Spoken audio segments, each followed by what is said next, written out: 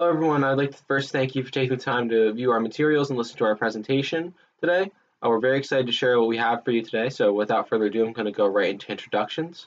My name is Daniel Charlton, I'm the leader for Group 2. With me on my team are Cameron Jean Caterino, Connor Duffy, Emma Brow, Kayla Johnson, and Ryan Bullitt. So before we get into the content of our actual presentation, uh, I'm going to go over a brief agenda, and then I'll let my team take it away from there. First and foremost, we have our central idea and inspirations behind our campaign, which Kayla will go over, followed by a situation analysis, which she will also then go into. After that, we'll go over our marketing strategy as well as how we're planning on distributing the ads to our target market, which Ryan will uh, describe in more detail. Following that, we have our advertising campaign, which is broken up between Cameron and Emma. Cameron will go over our hero advertisement, which has two versions, one for inside of Uptown and one for outside of Uptown. And then Emma will go over our supporting advertisements which help tell the cohesive story that we are seeking to tell with our advertising campaign. Following that, uh, Connor will then go over the KPIs for this campaign as well as the next steps that Uptown can take, and hopefully, if we choose to move forward with our plan and our advertising campaign, how to contact us following this presentation. So, without further ado, I'm going to now hand it over to Kayla, who will then go over our inspirations behind this campaign. To start off, we wanted to talk about the central idea and inspirations for our marketing plan.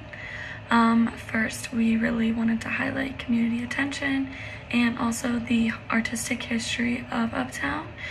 And we wanted to emphasize the growth potential of the area and also create a spotlight on creativity and the upward trend of Uptown.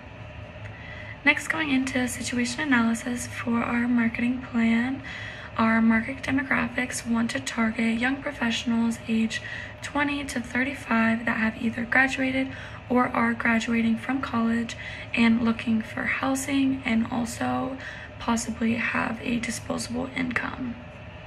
This could also include commuters working either downtown in Oakland or any area surrounding Uptown, um, small businesses looking for affordable storefronts, or artists looking for a tight knit community that they could find in Uptown. Some market growth trends include Uptown currently has around 6,000 residents, 61% are white, 32% African American, 2% Asian, and 6% Hispanic. The median income for Uptown is around 23,000. This topic goes um, a lot more in depth in our marketing plan. Competition that Uptown faces both include indirect and direct competition. Some direct competition includes Shadyside, Lawrenceville, Friendship, East Liberty, and also other similar areas um, around Uptown with kind of a similar motive. Indirect competition includes outside investors trying to gentrify the area. We will next be talking about our marketing strategy. All right, so now for our marketing strategy. First, our value proposition. We think Uptown offers a great history and art scene and other great amenities. And as we mentioned, it's on an upward trend. So we think that's very attractive to people. For our marketing objective, we want to create a diverse and popular Pittsburgh neighborhood. So we really want people to see Uptown as more than just a pass through um, a place where people can actually come to when there's no sporting events, no concerts, and just come for the businesses, come for the art, come for the, the environment. And so our target market, we want to target college graduates in the greater Pittsburgh area. So we know that Uptown has an aging population aside from uh, Duquesne students. A lot of people that live in Uptown are on the older side. And so we think bringing in younger people will help build Uptown and put it on that upward trajectory. And so for the branding perception, um, kind of similar. We want to create a clean, safe, and welcoming community. We want people to see Uptown as a place where they can come and enjoy themselves and be safe. So now into the advertising, we want to use first social media platforms so a mix of paid social media ads and posts on the account using hashtag this is uptown. So since we're targeting younger people, we want to use social media because everyone's on social media. Um, so LinkedIn, Facebook, Instagram, Twitter. And we will also be doing text message campaigns to build awareness about Uptown and what it has to offer. So we'll leverage social media and our other ads to get people to sign up for our ads. So every once in a while they'll get a text reminding them about Uptown. We think this could, um, it's always good to have Uptown on people's minds and it might trigger someone to want to go to Uptown to get food or something or to check out the murals on the wall or the art, whatever. And so finally, our billboards and posters throughout the greater Pittsburgh region. So we're going to target areas of Pittsburgh where many recent college grads live. But the good thing about posters and billboards is that everyone can see them. Um, so Uptown will always be on people's minds. So now, moving into the actual ads themselves, let's discuss our base for the overall campaign and our supporting ads, the Hero ad. Beginning with some clarification, we will have two distinct versions of our hero ad.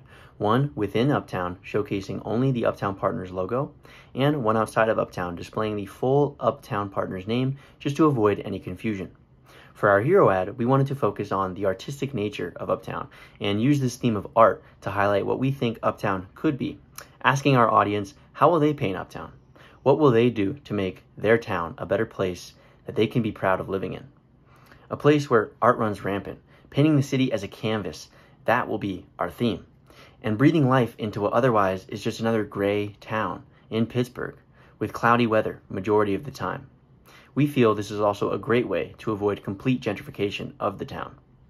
We want to change the perception surrounding Uptown of not only current inhabitants, but also people who may live there in the future. We want them to express themselves and make that a defining feature of the people who live there. We want the art to connect those within and outside of the community, to bring people closer together through the joy that comes with art and its endless and infinite ways of expression.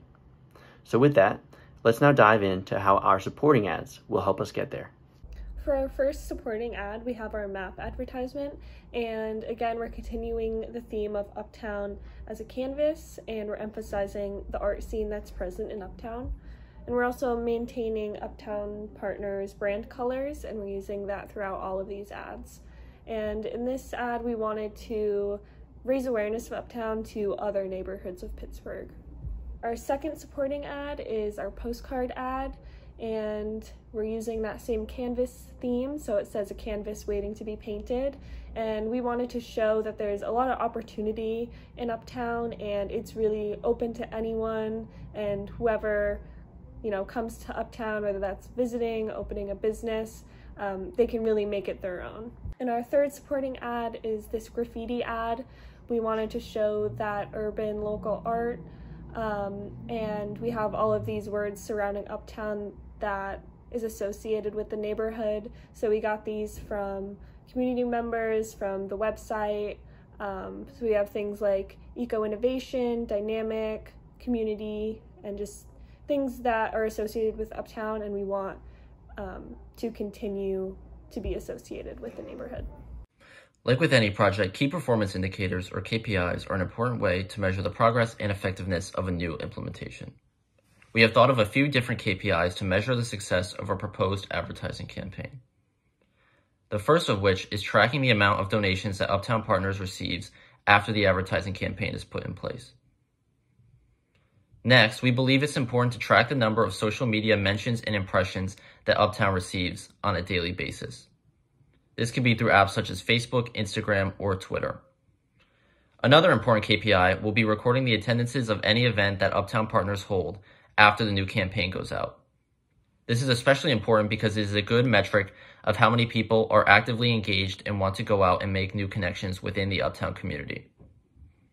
As well, an additional KPI worth keeping an eye on is the baseline number of new residents that come into and live in Uptown. Finally, we believe it's important to log the number of people who join an email list or text message signup.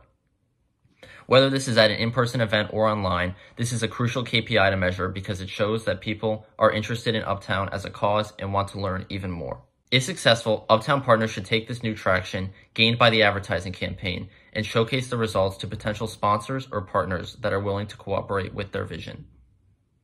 In addition, we believe it's important for Uptown Partners to continue to highlight unique aspects of Uptown and its people. We think this will help draw in more attention and traffic to support the EID plan past its initial intentions. With more resources, Uptown Partners can continue to provide community resources and updated development plans, as well as more programs to showcase local artists and talents. Thank you very much for taking the time to listen to our presentation. We have left our contact information on this slide, so feel free to reach out to us with any questions you may have. Our main point of contact is Daniel, and he will be happy to get in touch with you. We would love to meet in two weeks' time on December 23rd to discuss even more.